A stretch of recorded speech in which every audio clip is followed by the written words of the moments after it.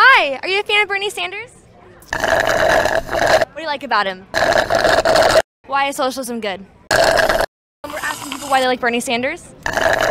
Exactly what values. Are you aware that Bernie Sanders lives in $3 million homes? Uh, Um, so if they're about eating the rich, why do you think so many of the 1% support socialism? It's very true. It's currently eating rats while their politicians are drinking champagne on a daily basis. The 1% of Venezuela. Well, and, well, I'm saying, since if Bernie Sanders were president, right, and he wanted to bring the same ideas as social, for socialism into this country, don't do you think that we would benefit? But I just told you Venezuela is eating rats. but I just want people to have health care, honey. I don't want like. Well. You people have like worms in your brain, honestly. I mean, you're the one who answered.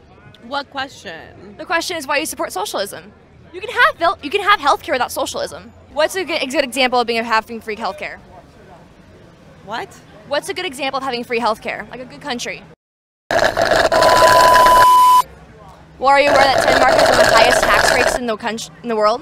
Say this. Let's say somebody smokes a pack of cigarettes a day and you don't. You think you should pay for their health care? Really?